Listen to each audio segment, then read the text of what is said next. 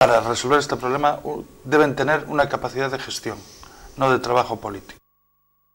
Y de Recimil nos vamos ahora hasta el barrio de Caranza. El delegado del Gobierno en Galicia visitaba hoy las obras eh, finalizadas en este barrio, en la zona de Tejeras, una nueva comunicación que sirve para mejorar la fluidez del tráfico entre el populoso barrio de Caranza y de Esteiro. La actuación dio trabajo a un total de 22 personas y costó cerca de un millón de euros que salió del Plan E.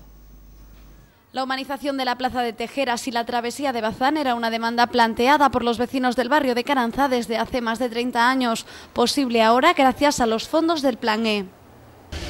Fondo Estatal de Inversión Local es un programa que se desarrolló a lo largo del año 2009 que perseguía crear empleo, que perseguía dinamizar la economía, es decir, que las empresas de la zona se activaran y que perseguía pues, crear espacios de bienestar para los ciudadanos y las ciudadanas. Y aquí tenemos un buen ejemplo. En Telleiras, en la Alameda de Telleiras, pasamos de un espacio eh, no del todo adecuado, por no decir degradado, a un espacio perfectamente recuperado para los ciudadanos y ciudadanas de Ferrol. El alcalde de la ciudad, Vicente Irisarri, destacaba que la relevancia de esta obra viene dada por el carácter integral de mejora del proyecto, que buscó consolidar la transición entre los barrios, generando una alameda y zonas de paso. Se trata de unos trabajos que han contado con una inversión cercana al millón de euros y que permitieron crear 20 puestos de trabajo. Todas estas medidas permitirán la revitalización económica del barrio y su potenciación como espacio de convivencia en los que el peatón gana en protagonismo. El Partido Popular de Ferrol acusa al gobierno de Vicente Irizarry de falta de transparencia en su gestión municipal. Los populares también denuncian ocultación y constantes retrasos en la entrega de documentación solicitada en las distintas comisiones y también en las sesiones plenarias. Denuncia de la opacidad de este gobierno municipal, de la mentira permanente. ¿eh? Se podría decir que este gobierno es un gobierno farfolla solo tiene apariencia. ¿eh? Y desde luego, otra palabra también que no es muy habitual, pero que describe perfectamente al señor Mato, es que es un faramallero.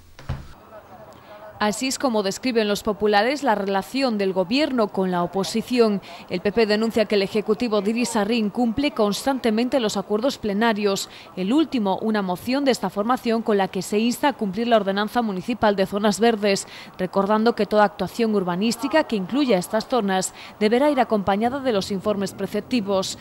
Informes solicitados por el PP sobre últimas actuaciones que todavía no se han presentado. Y esos informes no están. Entonces cabe preguntarse, ¿es que son muchos y no hay capacidad de fotocopia? ¿O es que realmente no existen? Con lo cual ha habido una negligencia por parte, en este caso, de, de quien tiene que velar por la ejecución de las obras. Los populares insisten en que el gobierno mantiene una actitud altiva, prepotente y denigrante con la oposición y a esto se suman tácticas permanentes de dilación y evasivas que impiden que el trabajo de control que corresponde a la oposición se pueda realizar como es debido.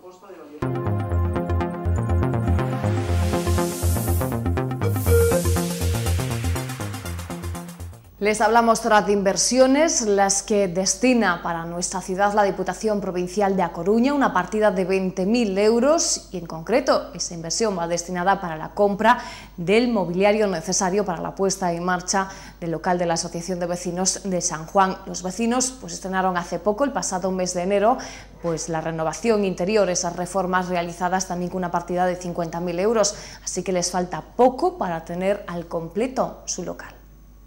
En enero, los vecinos de San Joan de Filgueira estrenaban su remodelado local. La Diputación Provincial de A Coruña destinaba 50.000 euros a la creación de un nuevo espacio, además de a otras reformas interiores. Ahora el organismo provincial destina más de 19.000 euros para la adquisición del mobiliario del local social. Con esta partida, la entidad podrá comprar expositores para cuadros, armarios para la biblioteca, sillas, mesas, un videoproyector, grabador con sintonizador digital, además de varios ordenadores portátiles. Y en Canido problemas, así como en San Juan cuenta con un nuevo local reformado con actividades programadas, en Canido siguen sin junta directiva. De nuevo han convocado a los vecinos a una asamblea que se va a celebrar este domingo para la aprobación de nuevas candidaturas, a ver si a la cuarta vez va la vencida. La situación de la Asociación Vecinal de Canido tiene visos de solucionarse. La Junta Gestora de la Asociación de Vecinos O Cruceiro ha convocado para este domingo día 14 a las 12 de la mañana una asamblea para someter a la aprobación de los socios las candidaturas de la nueva directiva. De momento, y sin que se haya cerrado el plazo, hay una única lista, pero si algún rezagado quiere subirse al carro, aún puede y es que hasta el domingo hay tiempo para presentar candidaturas. Se trata de un tema importante, sobre todo para los proyectos e intereses de los vecinos del barrio y más teniendo en cuenta que en este 2010 Canido es uno de los barrios de la ciudad departamental beneficiado por los presupuestos participativos.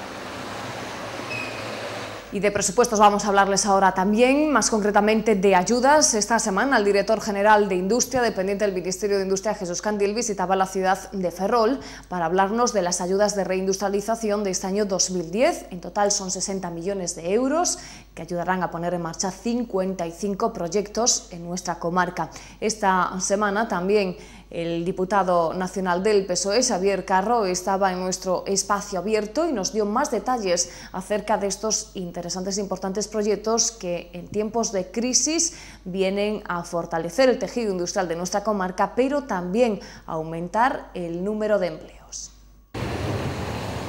55 empresas y entidades públicas de la comarca se beneficiarán este año de las ayudas de reindustrialización del Ministerio de Industria. Para el diputado socialista Xavier Carro, lo más destacable de esta convocatoria de 2010 es la capacidad del tejido empresarial de la comarca para invertir en nuevos proyectos.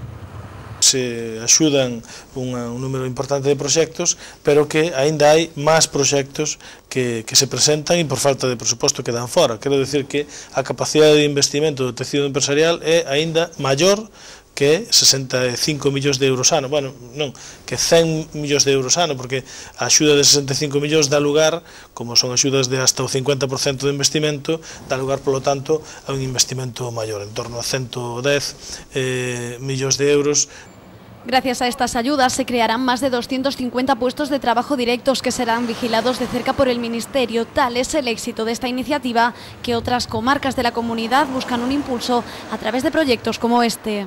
outras comarcas de Galicia pois están intentando copiar esta iniciativa, eu mesmo estou impulsando eh, algo parecido na Costa da Morte e me consta que tamén en Lugo en Ourense están intentando pois eh, establecer sistemas parecidos, pero teño a impresión de que o Ministerio de Industria non vai a a establecer novas órdenes específicas para estas zonas, Mientras tanto, hasta 2013 Ferrolterra seguirá contando con estas ayudas que dejan cada año más de 60 millones de euros en la comarca.